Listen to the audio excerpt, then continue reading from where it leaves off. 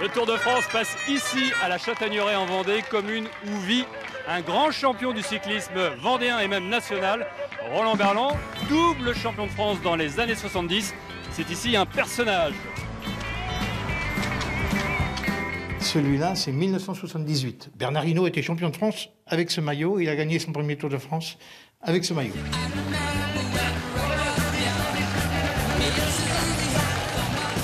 Mais le plus beau, pour moi, le plus beau des maillots, le voilà.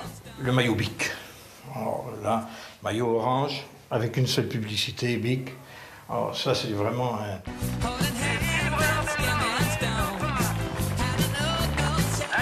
Votre mari, la madame, euh, il rentre encore là dans ses maillots?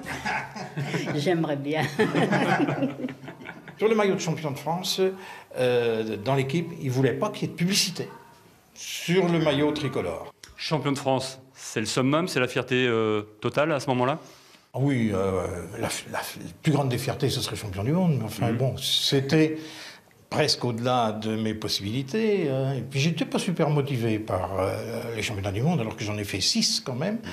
Euh, mais championnat de France, j'étais toujours très, très motivé. Alors Roland, là on quitte votre maison, puis on va aller voir passer les coureurs du Tour de France. Et ils passent sur un rond-point, c'est ça Ah absolument, il passe au rond-point à 150 mètres de mon domicile. Et puis ce rond-point, eh ben, euh, il s'appelle le rond-point Roland Berland depuis maintenant six mois. La commune a voulu ça, je l'ai accepté, et puis finalement, ça n'a pas changé l'homme. Mais euh, je me dis, si vous devez me, me faire un hommage, un honneur, faites-le de mon vivant, comme ça je pourrai en profiter.